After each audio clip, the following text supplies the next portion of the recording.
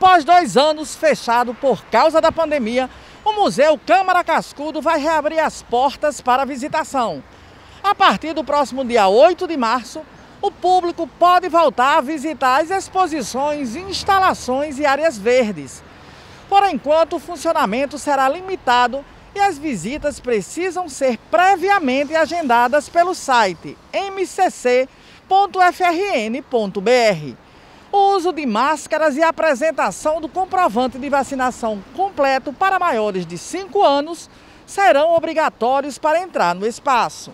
As visitas serão realizadas nos seguintes dias e horários. De terça a sexta-feira, na parte da manhã, às 9 e às 10 e meia. E à tarde, às 2 e às 3 e meia. No sábado, às 2 e às 3 e meia da tarde.